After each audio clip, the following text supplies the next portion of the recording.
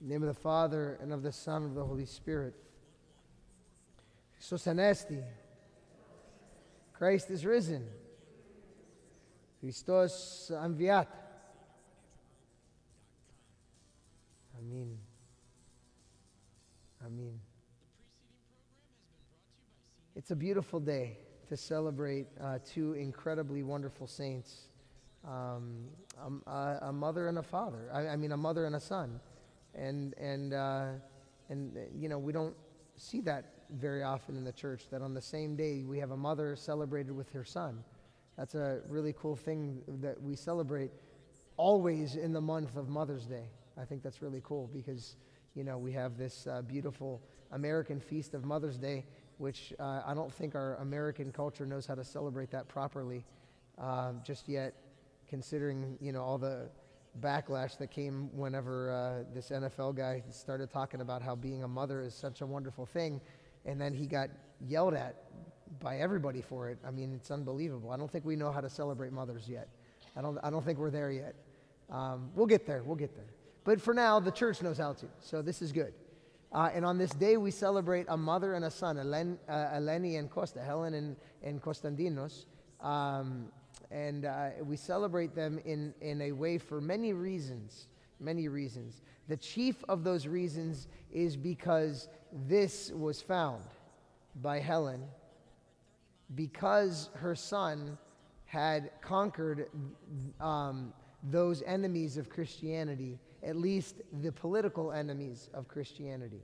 And this is something that we have to remember and remind ourselves that um, there are enemies of Christianity. There have always been, there always will be. And that's not something that we need to look for the fights. Trust me, they'll find, the fights will find us. well, all we have to do is continue to remain uh, as firm as possible. But sometimes there is this moment in which there is just such a backlash against Christianity, like what was happening during the Roman Empire at that time, that something needed to be done. Something needed to be done. And this was a political war that Constantine fought against uh, the per- persecution of Christians. And, and, and he won that fight. And he won that fight through the cross, the cross that appeared in the sky. And this is why we hear um, the epistle that we heard today. Now, it's interesting that the epistle that we heard today is the epistle that we heard today because in Acts of the Apostles, we hear this story twice. We hear it twice. We hear it once when it actually took place. When, when Saul was on the road to Damascus, and we hear it as it we hear it at, like in real time that's what they would say it in real time we hear it as it's actually happening in acts of the apostles in the chronological order of events as it was happening and in that story, we hear about how Paul was blinded, Saul was blinded by the light that came from the sky, that he was literally knocked off of his horse as he was going to Damascus. And why was he going to Damascus? To persecute more Christians, because that was his job. That's what, he was, that's what he was called to do. He was a zealous Jew who was uh, persecuting those. Um, uh, the, the, the, the, the followers of the impostor Jesus. That's what he was thinking. That's what his brain was thinking. So that's the first, but we didn't hear that story today. We didn't hear the story of it happening in real time. What did we hear? We heard the story of Paul as he was standing and giving an account before King Agrippa, and he shared his story with King Agrippa. He was doing that in his defense because he had been arrested. So, this is the second time in the uh, book Acts of the Apostles that we hear this story. Now, why is it that we didn't hear it if we're celebrating the appearance in the sky of the cross that Constantine saw, put it on his banner, and, and defeated Maximian to eventually create freedom of religion and make Christianity the state religion of the empire? Why is it that we didn't hear it in real time? God bless you. Why isn't it, why isn't it that we didn't hear it as it was happening in Acts of the Apostles. where we could hear about how he was struck blind, how he went to, to Ananias and he received his sight through, through, uh, through uh, blessings and baptisms. Why didn't we hear that story? Why did we have to hear him as he's been arrested? Do we know? Do we know? this is important that the church does not make a mistake about this. The reason we hear the, the second time and not the first in Acts of the Apostles is because we are celebrating two individuals, Saints Constantine and Helen, who are called what? What are they called? They're called crowned rulers, right? They're sovereigns. They're called isapostoli. Is apostoli. Now, I just said this sermon on Sunday. What does it mean to be an apostle? What, what did you have to see to make yourself an apostle? You had to see this. You had to see this. You had to see the resurrected Jesus Christ. You had to actually behold the resurrected Jesus Christ. It's a, if it's a pizza, I, I, I get a piece. I'm joking. It's okay. Uh, you had to see the resurrected Jesus Christ. To be called an apostle, you had to behold the resurrection, the, the resurrected Jesus Christ. Okay? And you had to be one of the 12. Okay? Now, Paul is called an apostle. He witnessed the resurrected Jesus Christ, and the light that came from that struck him blind. But he wasn't one of the 12, was he? But he was called by God to fulfill that 12th spot. We casted lots, got Matthias. But Jesus said, uh uh-uh, uh, that's fine. Matthias is good. He's a good person, no, no offense, but I'm going to pick my 12th. And Paul, as you can see in, the, in, in Pentecost and in um, the uh, analipsi, the, the ascension, you see Paul is to the left of Panagia and to the right of, uh, of Peter. That's Paul. He wasn't there for Pentecost, he wasn't there for the ascension. He wasn't present, he was still a Jew. He, had he did not believe in Jesus Christ at that point. We're hearing about Paul the Apostle today and his defense before King Agrippa because we are celebrating two people that are not apostles, but they are equals to the apostles. In which, which means for us who did not see the Lord resurrected, we have beheld him in our hearts as we take communion. But what it means for us is, is that they bore witness by their lives of the resurrected Christ.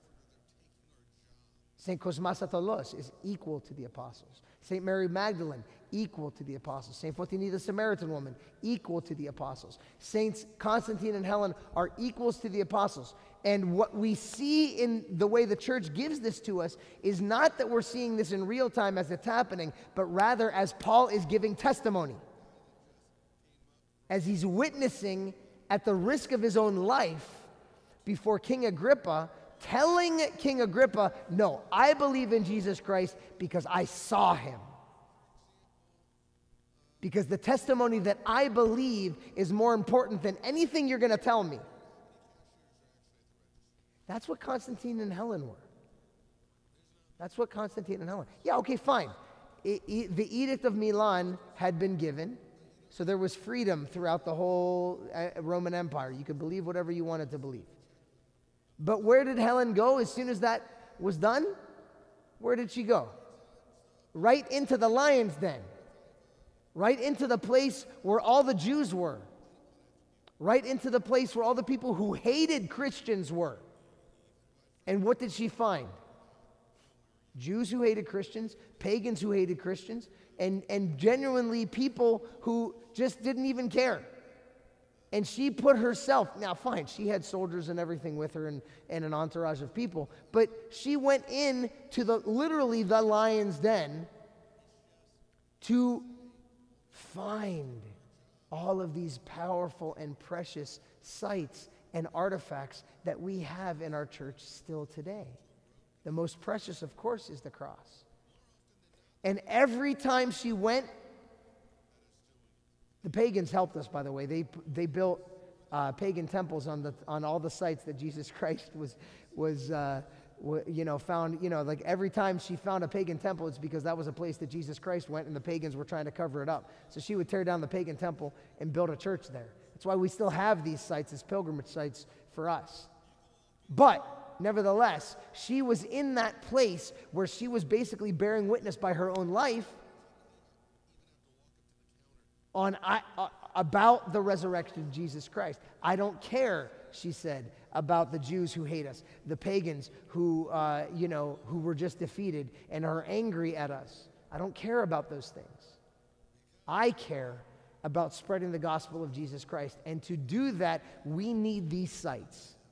We need these places to be once again holy, to be viewed as holy, to not be in the hands of people who are unbelieving in Jesus Christ, but rather to be in the presence and in the hands of those who believe that he resurrected, who trust and have faith in that beautiful uh, historical event and everything else that came from it. So when we go to the Holy Land, when we go to the Holy Land and we visit the Jordan River, the place where he was baptized, and we visit Bethlehem and, and the place where he was born, and we visit different places, when we visit those places, we are visiting spots that were recovered by her. Her icon's in the back. We are visiting sites that are recovered by St. Helen. We have this beautiful history of Christ. Because the apostles preserved it? No. But because two equals to the apostles preserved it and recovered them for us. And how many millions of people? The Holy Sepulchre, the site of the Holy Sepulchre, that's another one. How many millions of people have been, have had their faith reassured and their belief in Christ confirmed when they have visited these places. Now, we don't need to go to, I've never been to any of those places, but we don't need it.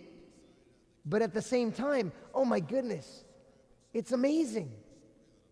It's amazing to be a part of that, to witness it, to understand how powerful these things are. This is no small thing that Helen did and Constantine. It's no small thing, it's an enormous thing for the church. And this is why we celebrate them, among other reasons. But this is one of the main reasons why we celebrate them for the freedom that Constantine gave the church and making it the state religion. But more importantly, for the faith that they both had in the resurrected Jesus Christ to bear testimony the way Paul did. Now, Constantine wasn't really at any risk because, you know, he's the emperor. you know what I mean? But Helen was, even with the soldiers and everything, going into hostile territory to resurrect what was dead, at least in the minds of the pagans and the Jews. And no more. It will, it will never be dead again. These places and these sites will never be dead again. So we honor them while we have faith and believe that Jesus Christ still is capable of making us, not apostles, we can't be apostles, we weren't there, but we can be equals to the apostles. If the faith that bears witness, like Paul did in the epistle today, can bear witness in our lives to a world that absolutely has lost what it means to be a Christian, what it means to be a mother, what it means to be faithful, what it means to be kind and gentle, what it means to be loving. We have to preserve those things. We have to preach those things. We have to bear witness to the truth of those virtues in Jesus Christ, not the, not the definition of the world. That definition is not correct. His definition, his life, the life that Helen and Constantine lived as best as they could, especially Helen. She was so pure, so holy. We have to preserve that. And restore it back to the place where Jesus Christ wants it. Not just because it's gone, but because we have because our world has forgotten it. We need to restore it back to where it belongs. So that we, too, can be equals to the apostles and honor Constantine and Helen for the saints that they are in our lives. In the name of the Father, the Son, and the Holy Spirit, Christos Anesti.